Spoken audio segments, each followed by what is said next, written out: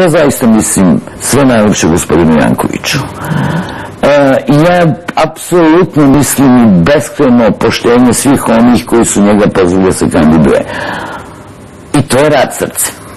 I on je za svako poštovanje ali prosto mi se čini da kampanju treba voditi uzbiljnije. Mi smo u stvari ušli u proces u kome smo mi izlicitirali neke imena i sad se ta imena davaju u blatu po celoj Srbiji. E,